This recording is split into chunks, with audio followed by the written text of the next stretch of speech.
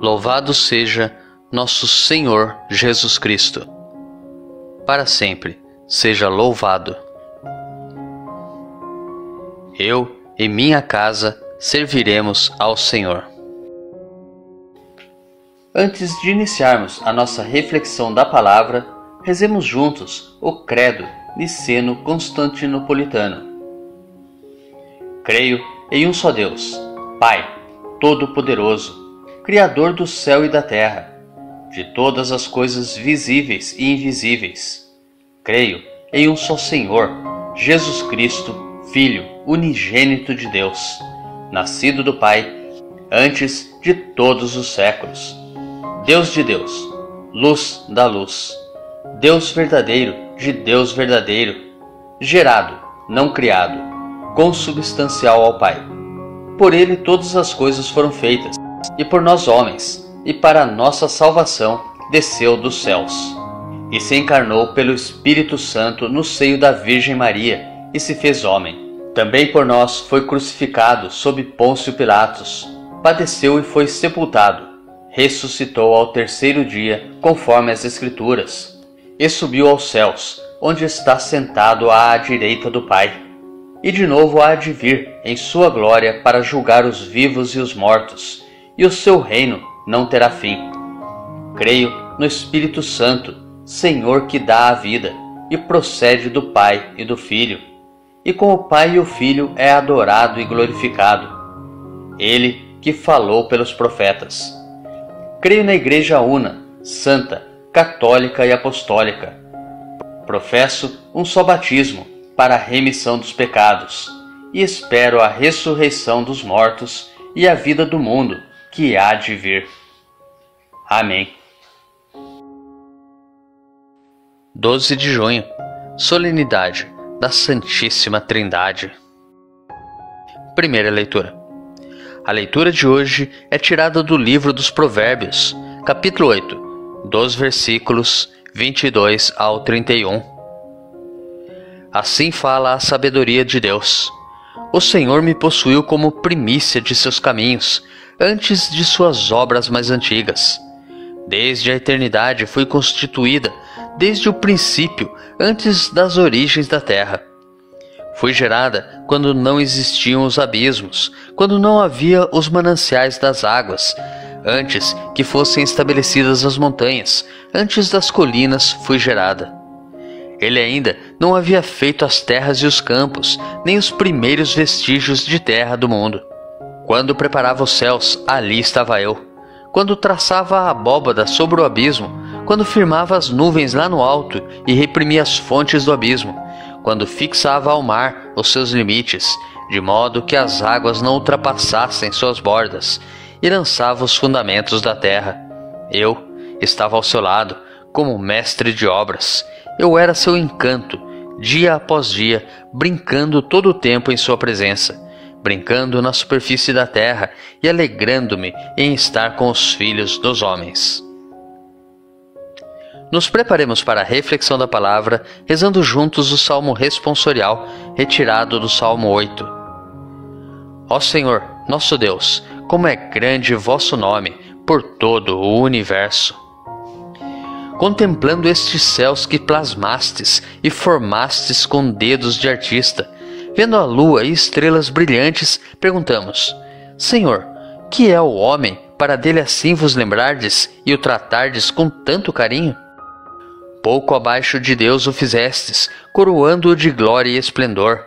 Vós lhe destes poder sobre tudo, vossas obras aos pés lhe pusestes. As ovelhas, os bois, os rebanhos, todo o gado e as feras da mata, passarinhos e peixes dos mares, todo ser que se move nas águas. Ó Senhor, nosso Deus, como é grande vosso nome por todo o universo. Segunda leitura.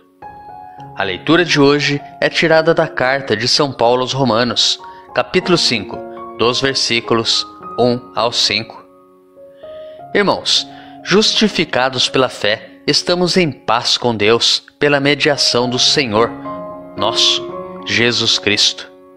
Por ele tivemos acesso pela fé a esta graça, na qual estamos firmes e nos gloriamos, na esperança da glória de Deus.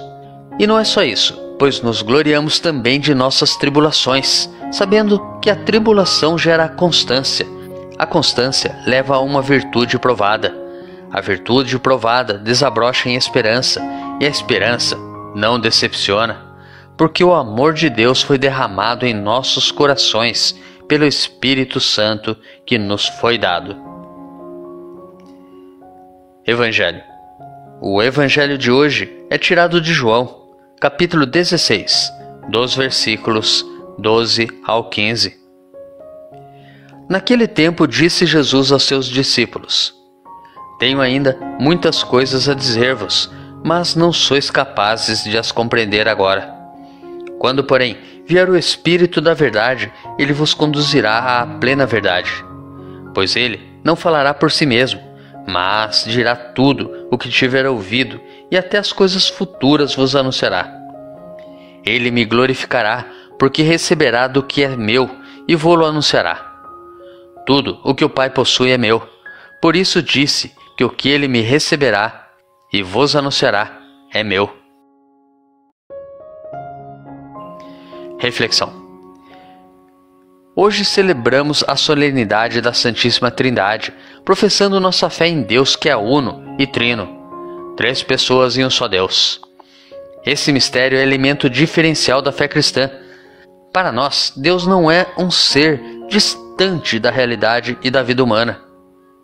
Ao contrário, para nós cristãos, Deus é pessoa. De fato, as três pessoas da Santíssima Trindade se amam de modo abundante e em eterna reciprocidade. O amor que une perfeitamente as três pessoas divinas transborda e alcança toda a obra da criação. O Pai enviou o Filho por amor à humanidade, e o Filho, na obediência perfeita ao Pai, assumiu nossa condição para nos elevar à vida divina. Para nos conduzir à compreensão desse mistério, depois de sua ressurreição, o Filho enviou o Espírito da Verdade, nosso defensor, que nos guia na verdade.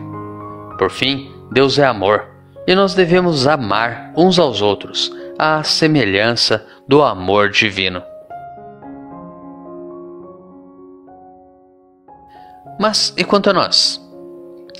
Vimos na segunda leitura de hoje, no versículo 3, a seguinte passagem: E não é só isso, pois nos gloriamos também de nossas tribulações. Mas e nós? Será que glorificamos a Deus quando estamos passando por tribulações? Ou será que o atacamos com palavras, com murmurações, com reclamações, etc? Será que diante das tribulações viramos nossas costas para Deus e nos apegamos a ideologias mundanas, com promessas falsas de salvação.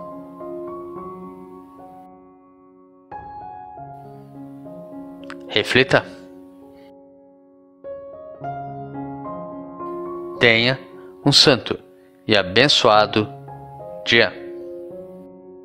Grave agora um áudio com a leitura do dia e encaminhe para o seu próximo. Ou envie um versículo da Bíblia nesse instante. Se preferir, compartilhe este vídeo. Curta, comente com o seu amém. Deus te abençoe.